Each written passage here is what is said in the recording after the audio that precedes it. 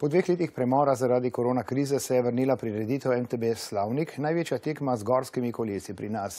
Na slikovitih progah pod znoži Slavnika je pedala vrtelo 450 kolesarjev.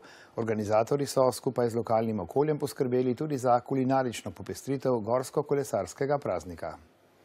Številni gorski kolesari so že obiskali razgibane terene Slavnika, Čičarije, Podgrajskega in Matarskega podolja. Tokrat so prišli v Hrpelje, kjer je bilo izhodišče dirke, da bi se spet preizkusili tudi v boju z uro. Prvi so se na progo pognali kolesarke in kolesari na najdaljši 80-kilometrski preizkušnji. Kmalo za njimi še na ostale tri proge 50, 90 in 9 kilometrsko. Na najdaljši je bilo potrebno premagati 2200 višinskih metrov. Prav vse pa so ponudile strme vzpone, zahtevne spuste, tu pa tam nekaj blatnih odsekov, na izpostavljenih mestih tudi slikovit razgled.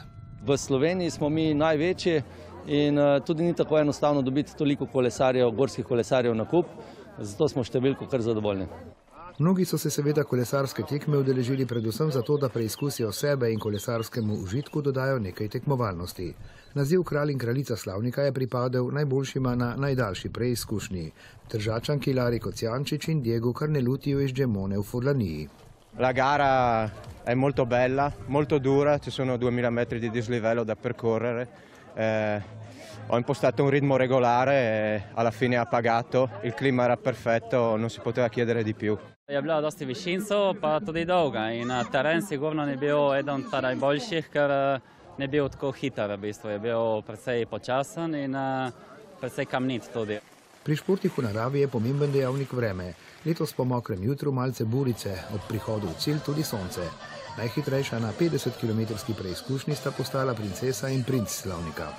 Tempo sem nastavila že od začetka, približno tako sem vedela, da bom zdržala in je šlo do konca.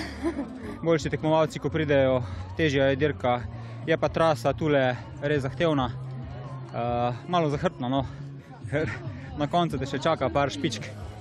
Organizatori seveda že pogledujejo proti naslednjim izvedbam. Dejansko je teh dirk nekoliko premalo, da bi bilo organizirano državno prvenstvo za rekreativne kolesarje. Tako da se pa pogovarjamo z sorodnimi maratoni, da bi pa organizirali neko Alpe Adria ligo, ki bi v bistvu povezala dogodke tudi čezmejno. Seveda pa tudi v prihodnje šport v tesni navezi z lokalno turistično ponudbo.